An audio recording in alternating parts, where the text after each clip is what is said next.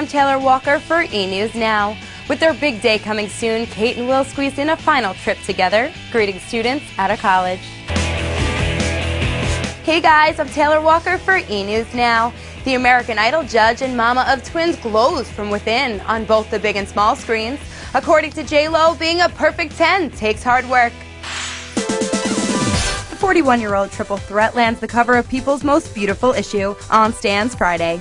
Jen tells the mag being glam is part of her job, joking, I don't want anybody thinking it's easy. HDTV widescreen is nobody's friend. As for being a proud member of the Diva Club, Lopez says, I kind of like it, but adds, I've never been a person who has what they call diva behavior. Halle Berry and Beyonce are among the other gorgeous celebs on the mag's list. Sexy sirens Christina Hendricks and Sofia Vergara top the bombshell category, while George Clooney and newly single Ryan Reynolds make the cut for the men. Thanks for watching E! News Now. Keep clicking E! Online for your entertainment fix. Now, I have kind of a funny thing for you guys. I was in the locker room before you guys even hit those showers. So when you're all big time this season, can I come back for another interview?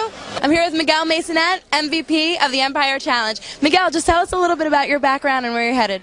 I'm Taylor Walker for Ultimate Athlete Magazine, here with game host Boomer Esiason at the Empire Challenge.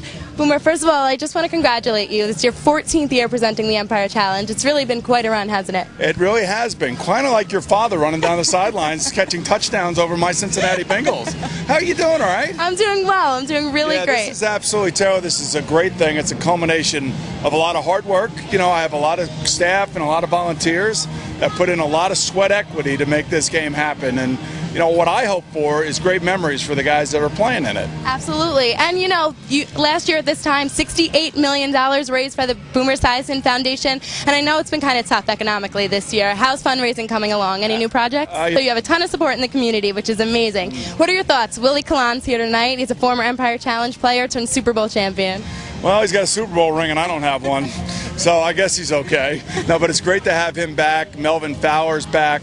Uh, the New York Jet rookie class, including their quarterback Mark Sanchez, is going to be here tonight. My son's playing for the Long Island team tonight.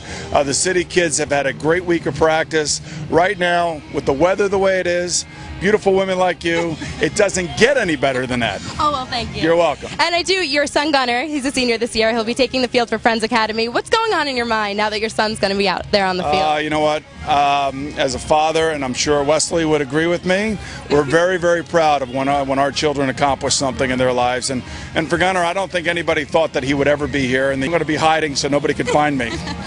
the tears might be rolling. Yes, they will be, definitely.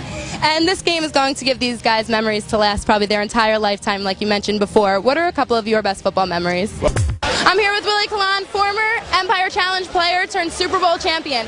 Willie, just tell me a little bit about what it means to be back here tonight. Uh, it's a great honor. You know, anytime we come back and show love to the fellow young guys that are playing in this game, city kids, uh, you know, hopefully they can see me and uh, see the success I've had and uh, they can keep going. Great. Now, story you had during your draft day, right? Your phone shut off, it was dead, Cowboys called you first, you didn't get the call, your agent called you the next day, said you were drafted by the Steelers. Was the Steelers the right place for you? Uh, no doubt. It's definitely a blue collar town. And uh, I'm a blue collar player, and, and uh, everything just turned out for the best, man. And uh, I've had great success so far, and I just try to continue it. Great. Well, good luck in the upcoming season. Thank you. Thank you so much. All right. With Britt and Keith, two rookies for the New York Jets for the 2009-2010 season. So just tell a little bit about what you're looking forward to in the upcoming season. Now, I have kind of a funny thing for you guys. I was in the locker room before you guys even hit those showers. So when you're all big time this season, can I come back for another interview? Oh yeah, you can definitely come back. You're welcome anytime. Sounds good. Good luck this season, guys. Thank you. All right. Hi, I'm Taylor Walker, and I'm here at LI Lax Fest 2009 and the UA Sports Expo. Let's see what they have going on.